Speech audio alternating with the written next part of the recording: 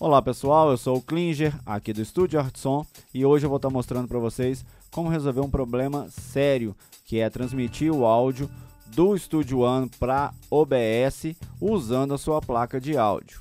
Vocês podem ver aqui que eu estou com um canal insertado no meu Studio One e vocês estão me ouvindo perfeitamente.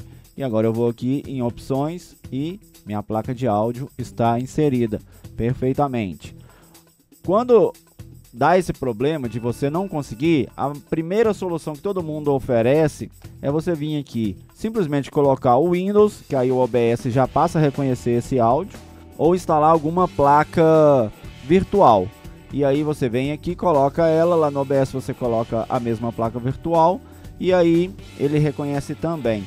Porém, igual no meu caso aqui, creio que é o caso de muitos, às vezes você quer gravar, quer usar processamento, aí você vai usar algum plugin, um plugin pesado, e aí não vai rolar se você estiver usando uma placa virtual. Você precisaria de estar tá usando, que é o meu caso aqui, eu preciso de estar tá usando minha placa. Vocês podem ver, meu áudio está entrando normal. Se eu der play aqui, então vocês estão escutando a música certinha aqui. E se fosse no caso de uma gravação, eu poderia estar tá gravando, ligando microfone, instrumentos e eu conseguiria estar tá transmitindo no OBS assim como eu estou transmitindo para vocês. Eu uso um plugin e esse plugin ele é ele é uma doideira, porque hora funciona, hora não funciona, para umas pessoas funciona, para outras pessoas não funciona. Comigo funcionou, no começo não funcionou, depois consegui fazer funcionar. Agora, recentemente, tive um problema que ele simplesmente parou de funcionar e eu fiquei o dia inteiro procurando solução na internet, não achei, só achei essa paliativa que é tirar a sua placa de áudio, que no meu caso não resolve. Então, eu consegui resolver e eu resolvi trazer para vocês como que resolve esse problema. Então, o plugin que eu uso é esse aqui, ó. Eu vou clicar nele aqui para você, quer ver? Esse, ó. O que eu vou fazer é jogar ele no meu canal Master. Deixa eu trazer meu mixer para cá e aí eu jogo ele aqui no meu canal Master. Esse camaradinho aqui, ó. Vocês podem ver que ele, você inserta ele aqui. É, você vai colocar a opção de baixo, Send. Vai colocar que é local. Aqui tem mais de uma opção quando você clica. Então você vai colocar aqui local. Um, uma coisa importante, você tem que dar um nome aqui que você quiser. Pode ser qualquer nome. Porém, lá no OBS tem que ter exatamente o mesmo nome. Se tiver letra maiúscula, ele reconhece. Se tiver começando com maiúsculo e o resto minúsculo, ele reconhece. Tem que ser exatamente igual. Você vai colocar lá no OBS e ele vai reconhecer. Deixa eu abrir do OBS aqui. Esse daqui agora é o do OBS.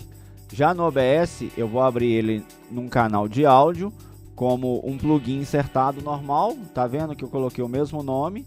Porém, esse daqui está enviando e esse daqui está recebendo. A única coisa que você vai ter que fazer é escrever o nome aqui e deixar ele recebendo. Então você pode ver que o som e não tem latência não, tá vendo? Ele sai daqui e entra aqui perfeitamente.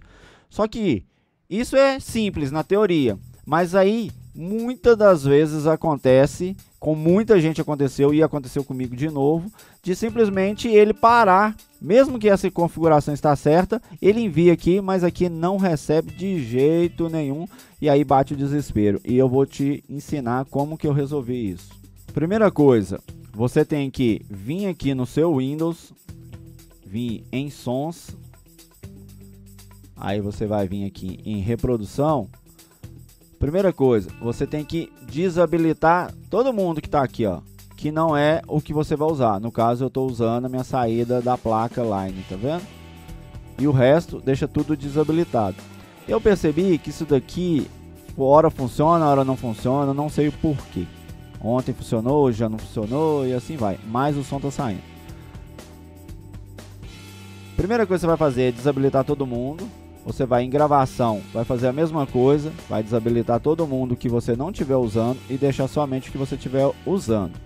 Depois que você fizer isso, você vai vir, digita com o botão direito, vai em gerenciamento de dispositivo, você vai aqui em som e aí eu fiz o seguinte, eu desabilitei esse dispositivo, que seria a placa de áudio do computador. Esse também eu desabilitei. Esse daqui é a minha placa de áudio eu deixei, deixei. E esse aqui é um controlador que eu tenho também. É, e aí o que, que eu fiz? Mandei ele procurar de novo, ele tornou achar esses dois. Aí eu atualizei esses drives, mandei atualizar, mandei atualizar esse, mandei atualizar esse. No meu caso aqui eu tenho esse vários, né? Esse aqui é um controlador, esse é minha placa de áudio, esse é um outro controlador, esse aqui é a placa de áudio do computador, a placa on-board. Mandei atualizar todo mundo. Depois que atualizou todo mundo, eu reiniciei a máquina e aí, teoricamente, já está 90% pronto. O que ficou faltando é somente habilitar um botão. Você vai vir nessa opção aqui de novo. Você não lembra como é que entra nela, vem aqui embaixo, em sons. Aí ela vai abrir. Você vai vir em reprodução. Vai conferir se a sua saída está habilitada, vai vir em gravação e vai ver o canal que você usa. No meu caso aqui, a DAT. Então deixei assim. Você vai vir aqui, ó, em gravação, vai vir na entrada ADAT, no meu caso, né, na sua vai deve vai estar outro nome. Vai vir em propriedade, executar e aqui é o segredo se eu desmarcar que estava desmarcado esse executar, que ele tem que executar tudo que eu for gravar, ele tem que mandar para o line 1 e 2. Que o line 1 e 2 seria a minha placa de áudio aqui, ó, a minha geral, ó lá, line 1 e 2. Então se eu abaixar o volume aqui ou aumentar, ele responde. Tá vendo? Vocês ouviram o som aí. Então ele ele entende que isso aqui seria o som do Windows. Eu tenho que executar esse dispositivo e mandar ele reproduzir da gravação, mandando para 1 e 2. Aí ele funciona. Eu vou desligar aqui e vou continuar falando só para vocês verem. Eu vou ligar deixa eu abrir aqui o plugin do OBS. Esse é do OBS. Deixa eu abrir o Studio One. Não, vou deixar o One fechado, porque senão vai ficar muita informação. Mas esse é do OBS que está recebendo, ó. Ele recebe. Então, esse daqui estava recebendo. Eu vou continuar falando, ó. Ah...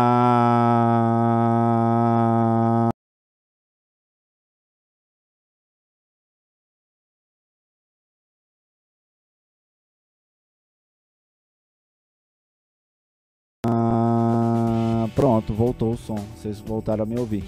Viu que eu desliguei ele? E ali é onde que mora o pulo do gato. Quando a gente instala, normalmente ele fica desabilitado. E aí a gente não consegue fazer um comunicar com o outro de jeito nenhum. E é isso. Foi assim que eu consegui resolver este problema sério. E estou aqui usando minha placa e mandando o som normalmente de um para o outro. Espero que essa dica tenha ajudado vocês, porque eu sofri bastante com isso. Fiquei foi horas e horas, dias também mexendo. Já vi muita gente tentando resolver e não consegue. Então, espero que essa dica ajude vocês também e comenta no vídeo aí se ajudou, se deu certo, se mesmo assim ainda não deu certo. Vamos trabalhar junto para tentar fazer funcionar, tá bom, galera? Um abraço, fique com Deus e até mais.